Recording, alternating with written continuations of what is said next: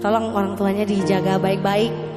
Karena kalau mereka udah pergi, kita nggak bisa apa-apa. Buat yang mungkin yang pernah ditinggalin sama orang tersayang, semoga diberi kelapangan hati ya.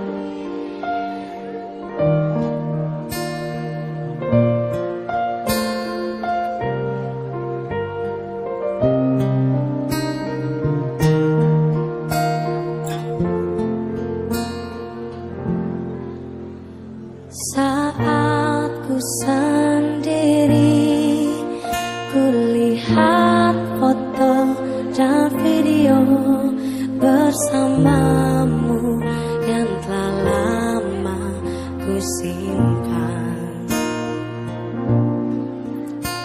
Hancur